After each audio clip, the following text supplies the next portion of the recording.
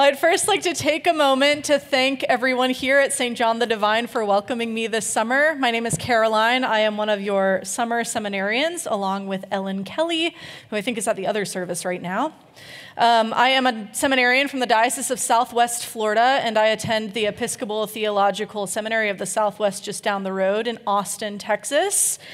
And I really do just want to emphasize again how grateful I am to have spent the summer here with you all. It's crazy that it's been, I think, nine weeks now, which is so wild. Time flies when you're having fun, right? Um, the other day, I was talking to Dr. Kira Molman Pettit, who uh, I think was in here preaching last week. But she asked um, Ellen and myself what was the one main takeaway that we would kind of take with us uh, leaving this summer. And I told her that I think I came into this experience this summer thinking that my main takeaway would be something sort of practical and logistical in nature, working at a large and growing Episcopal parish and learning about the different systems in place that um, sort of approaching pastoral care and evangelism and liturgy. And while I've learned so much about all of those things, really my main takeaway has been much more spiritual in nature. Um, you all are on fire for the gospel. It's amazing. Um, you're so invested in your personal relationship with Jesus, and that love that comes from that has just been so contagious. And um, that has been such a blessing and a grace for me. I have experienced that through your hospitality and your kindness. Um, so I really, I just want to say thank you again, um, and thank you for helping me grow closer to Jesus. Uh, I was born and raised in a little beach town called Sarasota on the Gulf Coast of Florida. And I lived there until I left for college. I lived there with my parents, my mom and my dad, and my three older siblings. My brothers are 14 months to the day older than I am, so we kept our parents very busy, as you can imagine. Uh, and my older sister, who's about seven years older than I am. And my siblings and I were talking the other day, um, and the topic of conversation were the many different terms and phrases that my dad often uses. Um, we lovingly call them Steve isms. Uh, my dad's name is Steve, so that's where that comes from.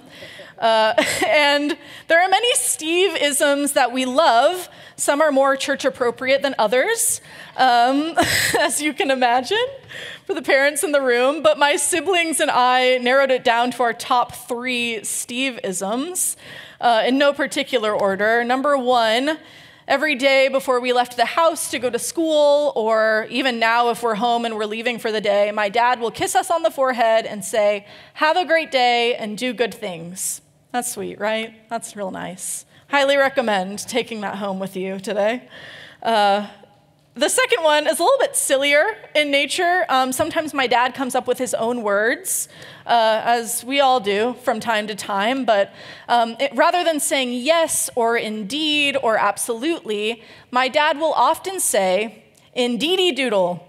Um, which is just indeed, but with a little more pizzazz. You can take that one home with you too if you'd like. And then the third one that we were talking about um, usually happens at dinner time. My family, uh, we're very lucky. My mom is a fantastic cook. And so often we were able to have family dinners most weeknights when I was growing up. And my brothers, growing boys, right? My mom always made some extra. And so at the end of the meal, when we were thanking my mom, uh, she would always ask, you know, that, did everyone have enough? There might be more in the kitchen if you need.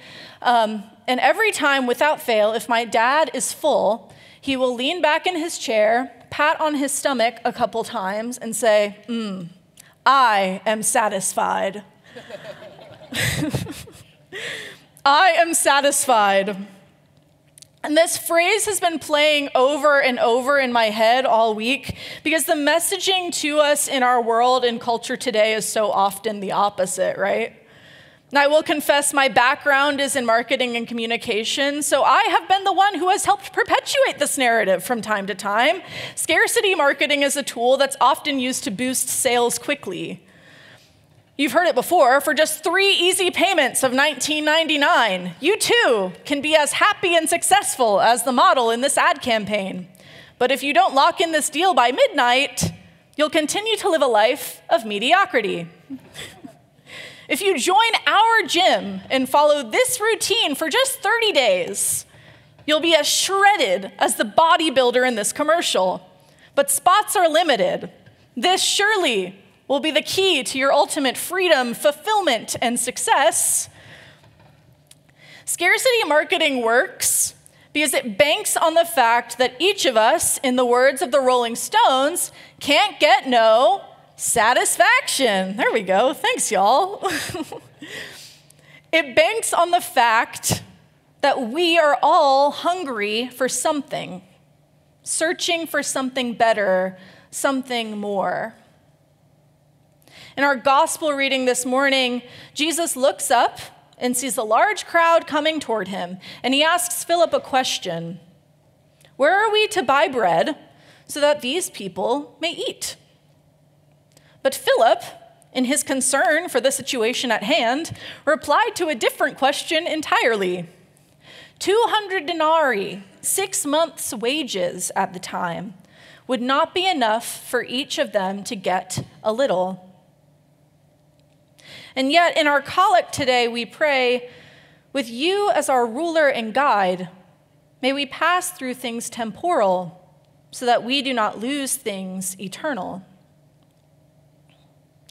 What is it about our temporal lives here on earth that make us crave more power and yet live in fear of scarcity, of not having enough?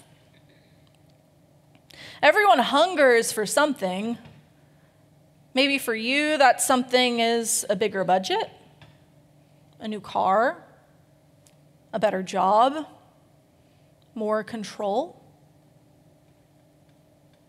The Bible teaches that we all hunger for God, even if we don't recognize it.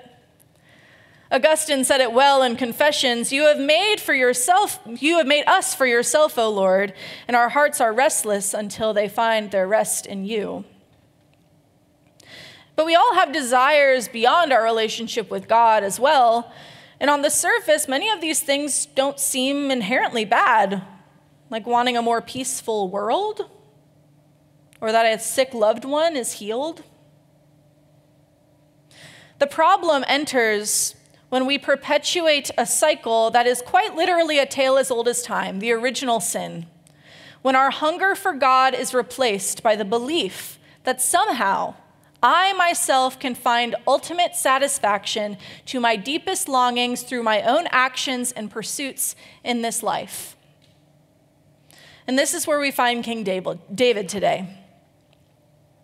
Today, we see the destruction that comes from disordered hunger. David has put himself in this position. There's no one around him to hold him accountable. His wealth and power and standing have not satisfied him. He craves something more. And as the old saying goes, power tends to corrupt, and absolute power corrupts absolutely. He's looking for love in all the wrong places. Even this great king, the king who has been devoted to Yahweh, resigns to being just like any other king. He uses his power, sees Bathsheba, and takes her. This is not some sort of consensual affair. This is an abuse, an abuse of power and an abuse of another child of God. And rather than turning to God in repentance, David tries to cover it up his own fear of getting caught, his desire to keep his power and maintain his status gets in the way of turning immediately to God, his ever present help in trouble. And we see the domino effect of this sin more lies, more deception, and ultimately murder. And while I'd love to say that humanity has moved far away from these things, if you are even the least bit privy to the happenings of our world today, we know that that is certainly not the case. While power seeks more of itself, the rest of our lives often seem governed by scarcity. There never seems to be enough enough money, enough time, enough care or attention, enough food for the hungry enough jobs for those seeking work. When these pressures of power and scarcity govern us, we often try to white knuckle our circumstances, take control ourselves.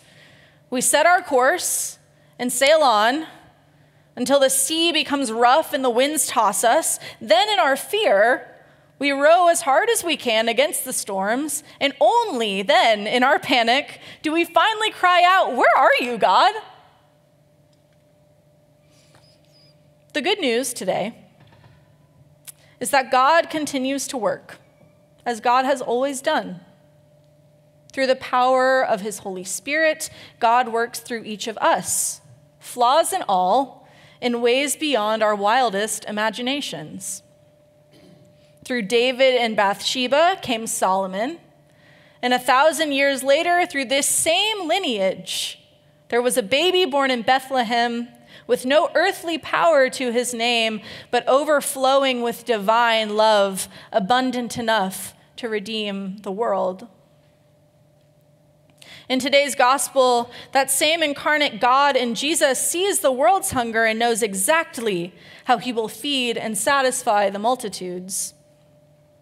This, the feeding of the 5,000, is the only miracle recorded in all four gospel accounts and the details are all remarkably similar. The emphasis is always on the feeding from these five barley loaves, poor men's food, and two fish, probably more similar to sardines. There aren't specifics given about the many healings we're told Jesus does. We're not given the details or the ins and outs of his teachings, but in every single account, the people are satisfied and there are baskets of bread left over. The emphasis is always on the abundance from what seems like so little that the kingdom of God has to offer.